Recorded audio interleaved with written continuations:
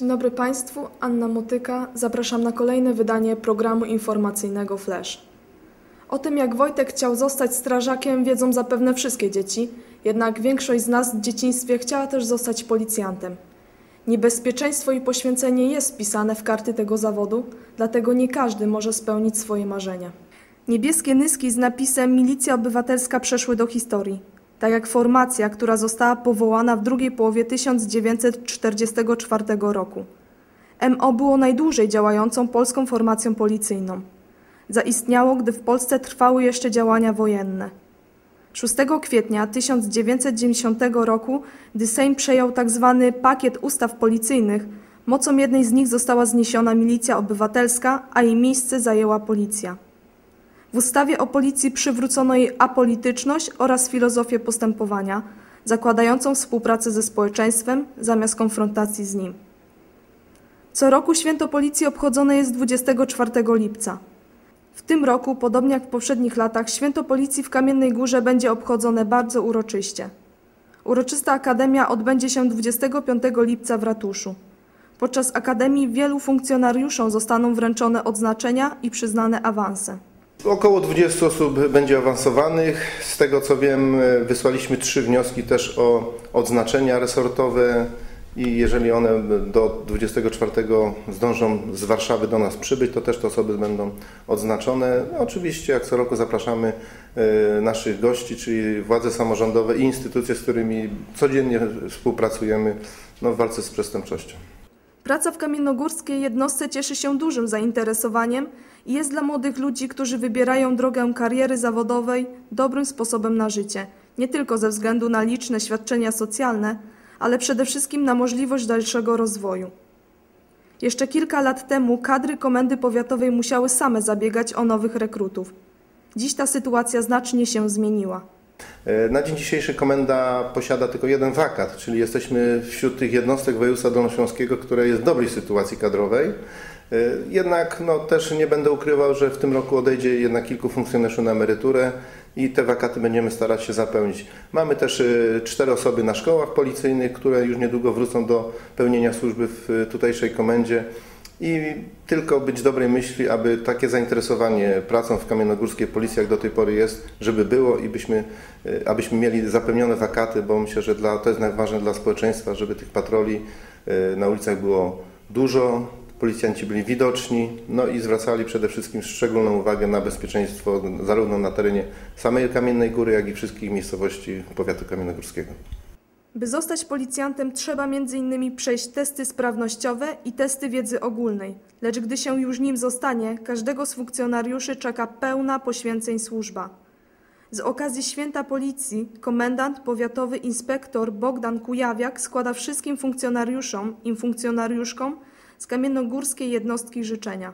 Z tej okazji chciałbym wszystkim swoim policjantkom, policjantom, a przede wszystkim rodzinom i wszystkim osobom związanym z policją, jak również instytucjom, które z nami współpracują, życzyć dalszej owocnej współpracy, a policjantkom i policjantom oraz rodzinom życzyć, aby ich żony, mężowie wytrwale pełniły służbę dla dobra naszej ojczyzny w walce z przestępczością. Tego wszystkim życzę. W obecności zastępcy burmistrza pana Jacka Machyni i zebranych gości 22 lipca odbyło się uroczyste otwarcie odcinka drogi 241, mierzącego ponad 600 metrów. Przekazanie drogi do użytku publicznego. Taki moment był dobrą okazją do złożenia podziękowań dla tych, którzy swoją pracą przyczynili się do zrealizowania tej inwestycji. Chciałbym dzisiaj podziękować panu Zbigniewowi Surdykowi z Dolnośląskiego Biura Geodezji i Terenów Rolnych za to, że instytucja ta wsparła gminę ponad 96 tysiącami złotych. Dzięki temu mogliśmy dołożyć resztę i stać nas było na wyremontowanie tej drogi. Chciałbym złożyć również podziękowanie Pani Bożenie Duszeńko ze Starostwa w Jaworze za to, że pozytywnie Pani opiniuje nasze e, wnioski na zadania rekultywacyjne. Chciałbym podziękować Pani Jolancie Morys, która z ramienia urzędu sprawowała nadzór nad tą inwestycją.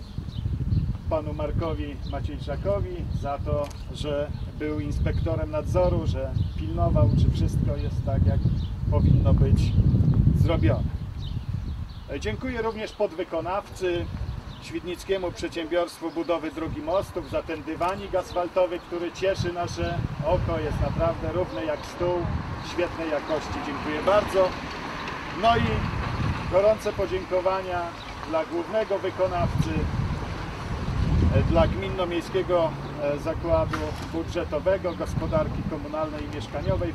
Sołtys wsi w imieniu mieszkańców złożył podziękowania burmistrzowi i całej Radzie za odnowienie odcinka drogi 241. Jeszcze kilka miesięcy temu była to zwykła droga transportu rolnego. W chwili obecnej mieszkańcy cieszą się z fachowo zmodernizowanej drogi, która wielu kierowcom ułatwi życie.